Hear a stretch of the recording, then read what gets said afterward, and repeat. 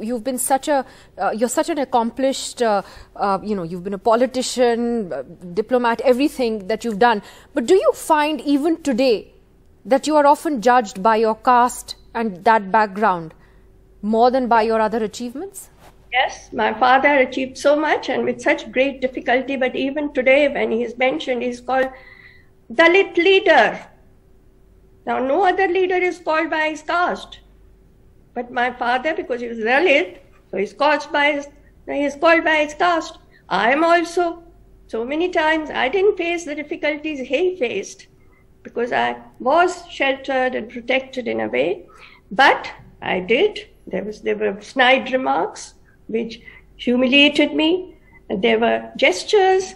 There were open, open statements made to me.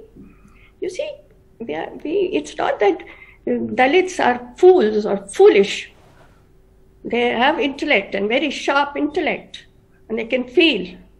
We have feelings and we have intellect. We can understand when we are being humiliated. And I'll tell you, not in India, leave alone India. I was humiliated in London when I was posted there. I was looking for a house to live in as I was I, I was posted there. So there was one person he was not even a Hindu, he was a Christian, Mr. Jacob. He had he he wanted to give me his house and rent. I liked the house. And I said, I will shift. He said, fine, we shift.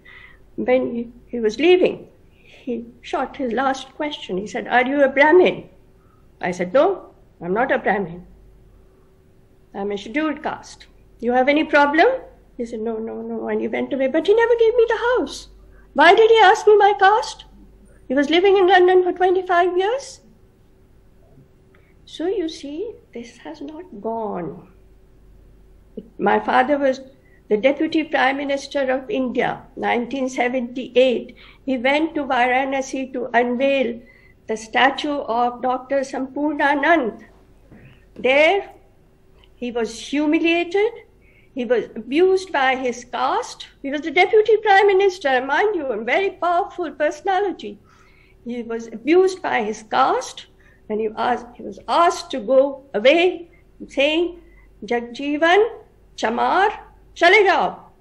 So he came home and they washed the statue with Ganga Jal because it got polluted. So you are asking a question which is very apparent.